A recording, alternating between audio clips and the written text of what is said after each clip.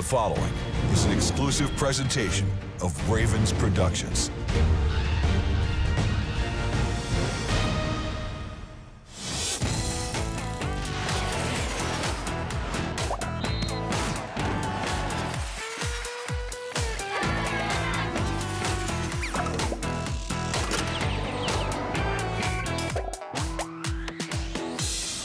Up, Ravens fans? Welcome into a fresh edition of Ravens Unscripted, coming to you as always from the Under Armour Performance Center. We hope you're enjoying a Thanksgiving week and obviously a lot to be happy about after the Ravens picked up their first win in a month. So, a lot to get into. Let me introduce the panel. We've got Garrett Downing, Ryan Mink of Ravens Media, and our favorite, Dennis Pitta, is back with us as well. And, guys, let's start with four downs.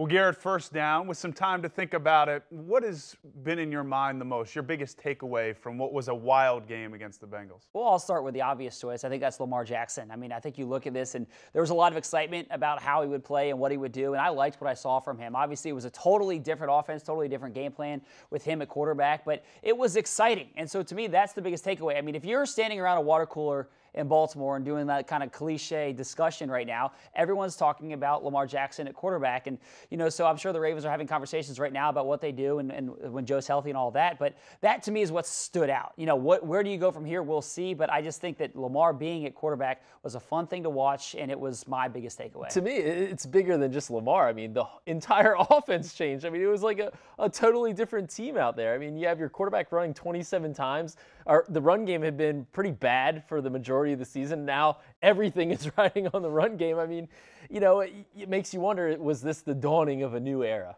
And you're right, it was a completely different offense. I mean, I watched the game, and I don't know if I recognized a single play from when I was in that same offense. And so you weren't running the run pass option. No, and, and, and I was talking to you guys earlier about it. I don't know if I had a role in, in an offense like that because I wasn't much of a blocker. I was more of a receiving tight end. But that being said, I do think Lamar played well in what they asked him to do. Now, they didn't ask him to really throw the ball. And so that will be the question mark moving forward. Can he develop at least to be an adequate passer because you know in this league you have to be able to throw the ball. What happens when you get down by a score or two and you have to throw your way back into it? You cannot just continue to ground and pound. I mean, Lamar was tremendous. You saw his athleticism and everything he brought to the table. Now, can he develop as a passer? Because I don't think he's there yet. Okay, well, that takes us to second down. And Lamar's performance, Ryan, I think Dennis covered a lot of it, but what do you feel like the coaches, after they got over the excitement of winning, thought about the way that he played? And to Dennis's point, what they're going to need him to do if he has to play against Oakland yeah. and moving forward. To me, I think that he delivered kind of what you expected, right? I mean, with Lamar, you have to know that there's going to be the good and the bad, and you have to be okay with both of it because he's going to have rookie hiccups like he did with his interception, which was just a bad pick. But on the other hand, Lamar picks up a lot of positive yardage. There's not a lot of zero yard plays, a lot of incompletions because as long as he's running, he gets three, four yards. So you're not often fa- falling behind in down distance. So he's going to electrify the offense at times. I think he excited the fans. He excited his teammates at times around him because of the way that he plays. Uh, but so you have you have to take the good and the bad. So I think the coaches probably came away with it and said, you know what? This is what we're going to get with Lamar. And moving forward, yes, he's going to have to throw the ball a little bit more. But if he can keep running the way that he did yesterday, we think that we can win games and score points that way. My question is how much more he has to throw the ball. 51 rushing attempts for the team yesterday, 19 passes. I think we can all sit here and agree that that's not necessarily a recipe for success week in and week out. I just wonder at what point do you give Lamar more of the passing playbook? I mean, are they going to allow him to throw the ball 30 times? 35. I mean, at what point does it shift in that direction? Because I think that if you're going to go out there and play a really good offense like Atlanta or Kansas City on the road mm-hmm. in a few weeks, and if he's going to be your quarterback in that scenario, you need to score more points. And so you are going to have to put more of the passing. The question is whether you do need to score more points because Lamar eats the clock by virtue of running so much. When so you play at Kansas City, when you play an LA Charger, you're going to have to score more points. That's just a fact, uh. okay?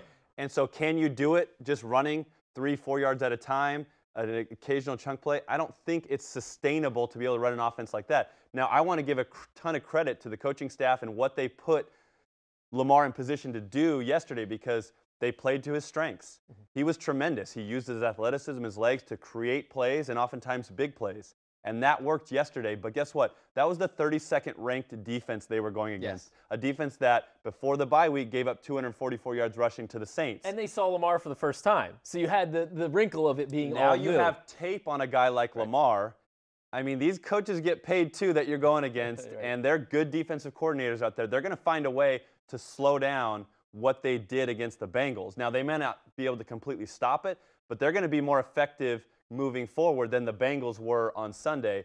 And so you're going to have to develop another element to this offense. And that's the question mark. I'm not saying he can't do it. I, am saying we haven't seen it. They haven't asked him to do it. They haven't necessarily trusted him to drop back and do it a lot. And so we'll see if he can handle that.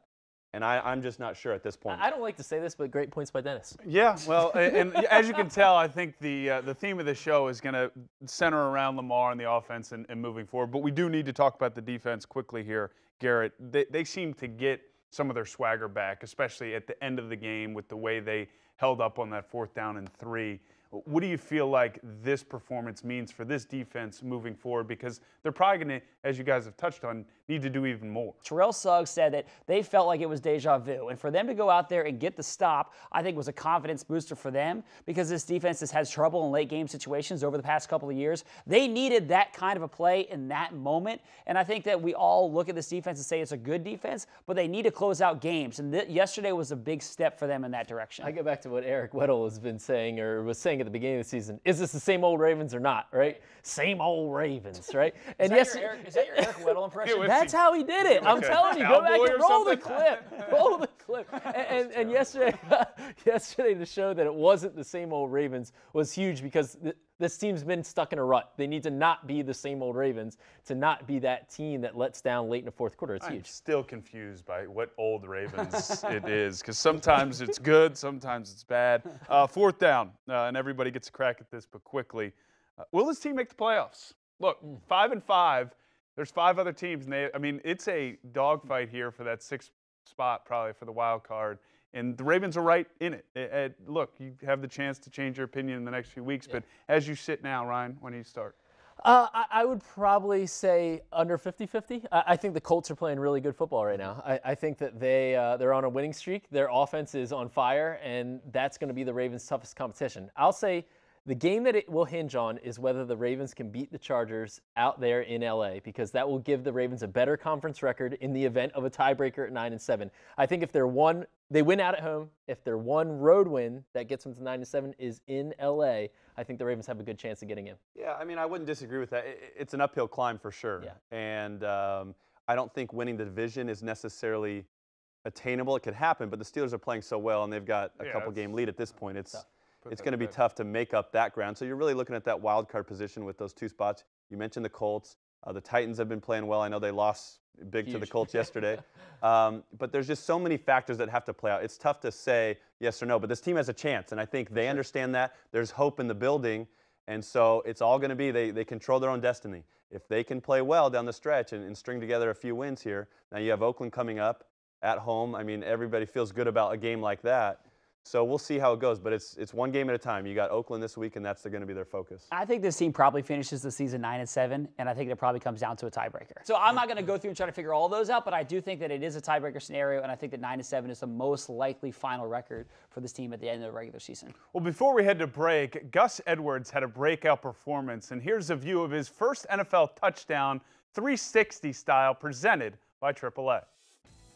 Jackson in the gun. Gives to Gus Edwards. Edwards up the middle. He's to the five. He rumbles in. Touchdown Ravens. Gus Edwards with his first NFL touchdown.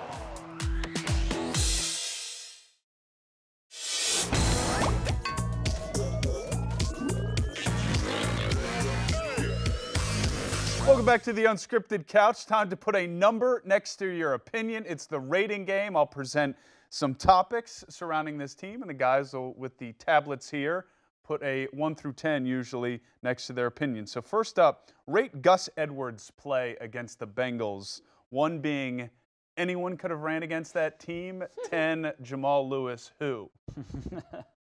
So, the big reveal we Oh, got look at this. Oh. nines across the board. All right. Dennis, you're our guest, sort of, so go first. Okay, I, I was really impressed with Gus Edwards in that game because, yeah, he had a lot of space to run at times, but he broke a lot of tackles. And he was slippery through the hole. He had good vision. I was just really impressed with his running style. He had a low center of gravity, always was finishing runs in a punishing manner, falling forward. And so he's a guy that I think they can continue to rely on. I don't think this was just one game that he kind of broke out. I think he's going to be consistently productive for them moving forward, especially if they continue this style of offense. And one thing, I think he got more carries in this game other than like an Alex Collins or somebody else because he's more familiar with the zone read stuff. And it's tricky. The ball handling with that, being able to know when to take it, when not.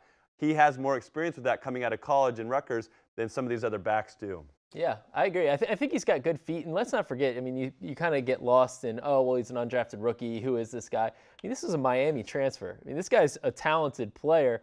Uh, he's got good feet. He's got power. I like the complement that he gives to Lamar, where Lamar has a little more ankle breaking Gus is just going to smack you in the mouth. I think my biggest question is who's the lead back moving forward? Because I think I saw that we Lamar saw Jackson. enough. Yeah, it is Lamar Jackson right now, but I think we saw enough from Gus Edwards to think that he could be getting the lion's share of the carries now over Alex Collins. That's going to be he's going to be a very popular waiver wire pickup this week in a lot of fantasy And I leagues. think and I think it depends what style of offense they use moving forward. If it's the same thing we've seen with Lamar, like we saw against the Bengals, I think Gus Edwards is the guy that you feature. All right, coming up next here, it's Chris Moore. Uh, he seems to be a weekly appearance here on the show for some of the plays he made.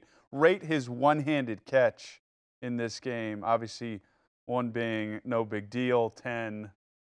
It's an all-timer. Whoa! yeah, Ah, I beat you, Dennis. Same joke, All right, but I went yeah, there you go. I didn't that Or is that one point? No, that was a comma. That was a comma. That's 1,000. So uh, that's the best catch you've ever seen? I mean, that was maybe the catch of the year in the NFL. I mean, honestly, I mean, it wasn't a touchdown catch, but to reach behind you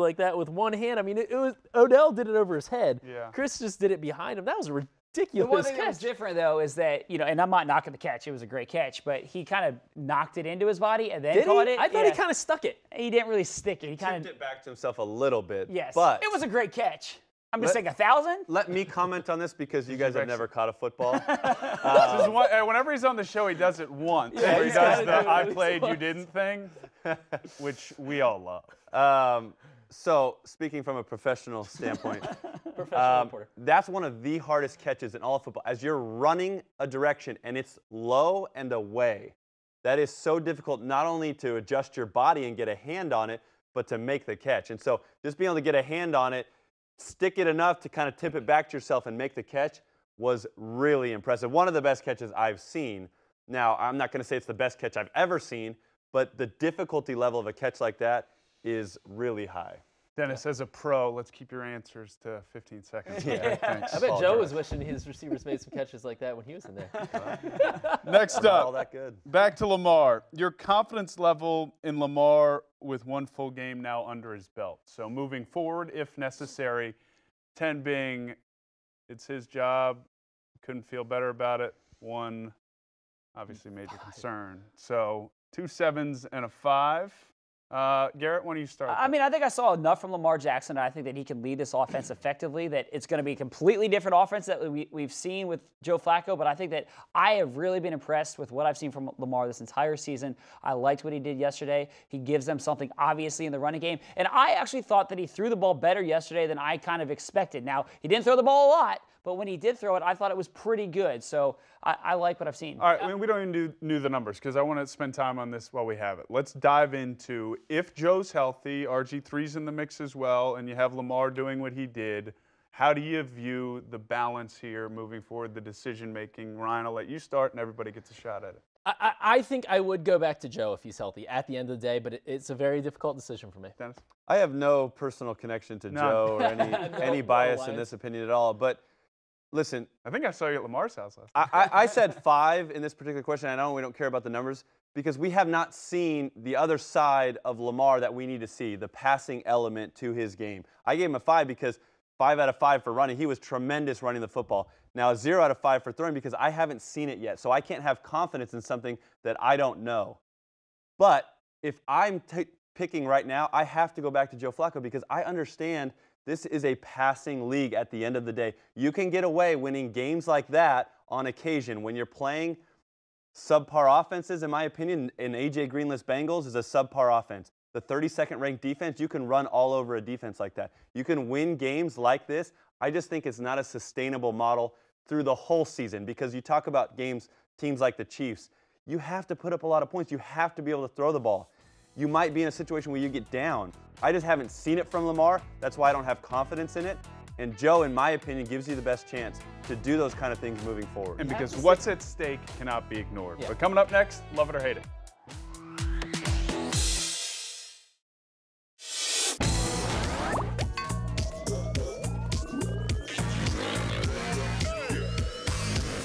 Welcome back to Ravens Unscripted, final segment of the show. Love it or hate it. Pretty simple. I'll present some Ravens related topics, and the guys will tell me if they love it or hate it. First up, and there's a theme here some coaches, uh, uh, funny and not so funny. Um, first up, though, John Harbaugh's pregame dance. Uh, our crack camera crew caught him. Uh, I don't even know what you call it uh, with some of the defensive linemen. Uh, guys, love it or hate it. Ryan, you first. Well, I'm a dad, and it was like dad dancing. So It was. It's, it's like terrible. So I love it. You love it. You would love it. Um, oh, you don't have any dance moves. You have no dance moves. me, you don't know what kind of rhythm I have. so don't comment on my dance moves. I'll comment on Coach Harbaugh's dance moves, though, because we got to see it. And I've seen it before. I watched him try and dab one time in a team meeting, and it made everybody uncomfortable. And so I will give him credit. He stayed kind of in his lane. He didn't get too wild. He, he stayed, you know, kind of tight. But uh, it was it was uncomfortable to say the least. I thought I thought it was funny. Like before the game, you know, you know, you wonder what kind of mood the team's in. Are they tight? Are they loose? And you got your coach down there doing this thing. I think it kind of kept everybody loose. I liked it. And on the back end of this, we'll see where it really led itself. But the whole week, uh, Harb seemed to be in a uh, pretty good mood. All right, here's Marvin Lewis, though. His thoughts after the game. Quarterbacks don't run forever in the NFL. Sooner or later, they get hurt. They don't run the same. But today, he could run, and he did a good job. Obviously, he's describing Lamar Jackson's day. Uh, love or hate Garrett sort of would sound a bit like sour grapes, well, I mean, I, but maybe accurate. I think he's accurate. I mean, when you look, Lamar Jackson's not going to carry the ball 27 times a game, so I guess I love it from the standpoint of I agree with Marvin Lewis. Over the course of his career, you're not going to draw up many game plans and say we're going to have you carry the ball 27 times. You know, I think he's good at avoiding hits, but you know. Players know it only takes one big hit to kind of change and alter a guy's career. RG3 is obviously a perfect example of that. So, obviously, you're not wishing any of that, but I do think that it is certainly in the back of everyone's mind when you see him carrying the ball that much. And I hate it. I, I think it just sounded a little bit petty, especially right after a game like that where you got beat on the road. Um, but like you mentioned, it, it isn't inaccurate because you cannot sustain through a whole season taking hits like that, having that many carries as a quarterback. It's just going to catch up with you eventually. And so um, I, I hated how he said it, but but he isn't wrong. All right. I promised it. It's the post-game speech that's probably uh, sweeping the nation as we speak. Here's uh, a sample of it from John Harbaugh. Two minutes, they get a third down conversion. Got the ball in scoring range. Good. we got them backed up to the nine-yard line to win the game. The tight end runs a little shake route. High throw comes down with a spectacular catch. Good. What else? Give me something else.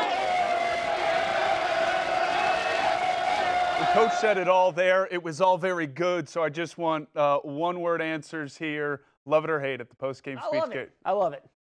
I love it. Good. I love it too. It was pretty weird, but it was great. It was fun. That'll do it for this episode of Ravens Unscripted. There are still tickets available for the Raiders home game, so make sure to go grab those. And there'll be a special performance at halftime by country duo LoCash. Enjoy the game, everybody, and we'll see you right back here next week on Unscripted.